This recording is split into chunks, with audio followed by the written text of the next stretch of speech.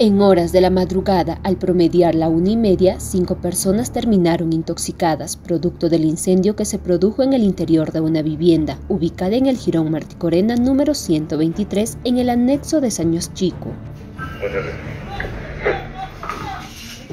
Hay que sacar estos costales.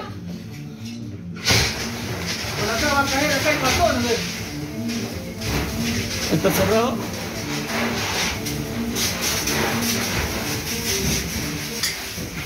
Acá hay cartones.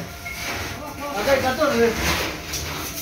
Al llegar serenos de El Tambo vieron cómo las llamas consumían el cuarto piso de una casa, por lo que conjuntamente con policías y bomberos trabajaron por más de una hora para poder controlar el siniestro. Al promediar la una y media de la mañana se ha, llamado, se ha llegado a una llamada de alerta a los vecinos del pasaje Marticorena, la cuadra 1, donde en el cuarto piso se suscitaba un incendio de gran magnitud, eh, cual en el interior eh, estaba una familia ¿no? de cinco integrantes, los cuales han resultado con males ¿no? por el tema de la respiración al ser expuestos durante un tiempo. Los integrantes de la familia, cuatro personas adultas y un menor de tres años, presentaban dificultades para respirar por haber estado expuestos al humo tóxico, por lo que fueron derivados hacia el hospital Daniel Alcides Carrión.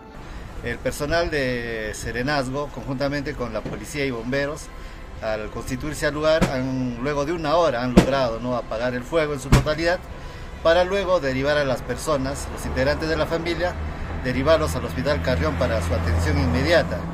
Según la información que nos brindaron los propietarios, esto se habría debido a un cortocircuito. Johnny Pimentel Zulca, de 42 años, propietario de la vivienda, indicó que en su techo estaban realizando trabajos de remodelación, donde aparentemente un cortocircuito fue la causa de este hecho.